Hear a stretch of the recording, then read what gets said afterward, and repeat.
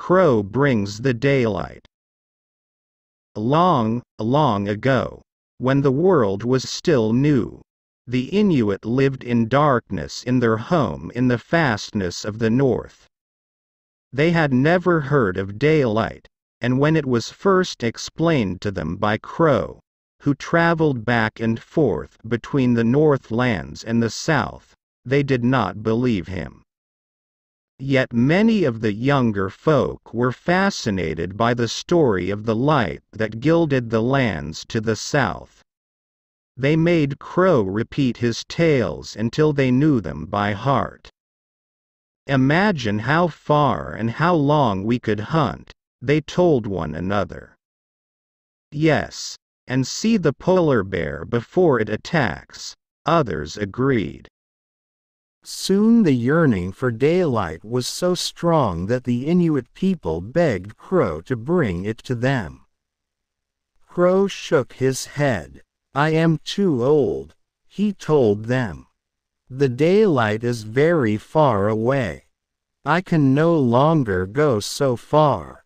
But the pleadings of the people made him reconsider, and finally he agreed to make the long journey to the south.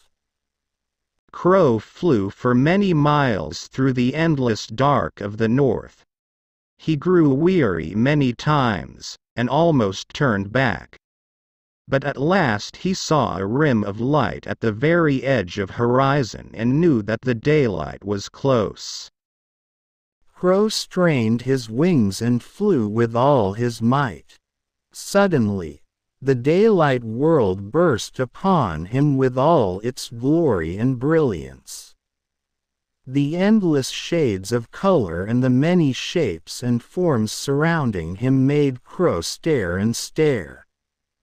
He flapped down to a tree and rested himself, exhausted by his long journey. Above him, the sky was an endless blue, the clouds fluffy and white. Crow could not get enough of the wonderful scene. Eventually Crow lowered his gaze and realized that he was near a village that lay beside a wide river. As he watched, a beautiful girl came to the river near the tree in which he perched. She dipped a large bucket into the icy waters of the river and then turned to make her way back to the village. Crow turned himself into a tiny speck of dust and drifted down towards the girl as she passed beneath his tree. He settled into her fur cloak and watched carefully as she returned to the snow lodge of her father, who was the chief of the village people. It was warm and cozy inside the lodge. Crow looked around him and spotted a box that glowed around the edges.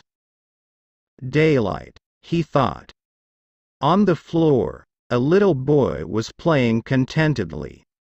The speck of dust that was Crow drifted away from the girl and floated into the ear of the little boy. Immediately the child sat up and rubbed at his ear, which was irritated by the strange speck. He started to cry, and the chief, who was a doting grandfather, came running into the snow lodge to see what was wrong. Why are you crying? The chief asked, kneeling beside the child. Inside the little boy's ear, Crow whispered, You want to play with a ball of daylight. The little boy rubbed at his ear and then repeated Crow's words. The chief sent his daughter to the glowing box in the corner. She brought it to her father, who removed a glowing ball, tied it with a string, and gave it to the little boy. He rubbed his ear thoughtfully before taking the ball. It was full of light and shadow, color and form. The child laughed happily, tugging at the string and watching the ball bounce.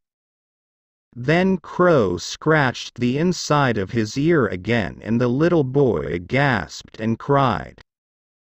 Don't cry, little one, said the doting grandfather anxiously. Tell me what is wrong.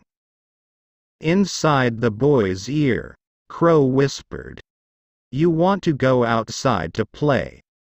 The boy rubbed at his ear and then repeated Crow's words to his grandfather. Immediately, the chief lifted up the small child and carried him outside, followed by his worried mother. As soon as they were free of the snow lodge, Crow swooped out of the child's ear and resumed his natural form. He dove toward the little boy's hand and grabbed the string from him. Then he rose up and up into the endless blue sky, the ball of daylight sailing along behind him. In the far north, the Inuit saw a spark of light coming toward them through the darkness. It grew brighter and brighter, until they could see Crow flapping his wings as he flew toward them. The people gasped and pointed and called in delight.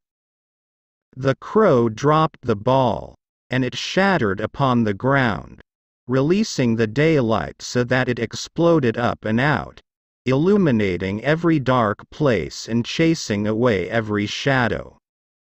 The sky grew bright and turned blue.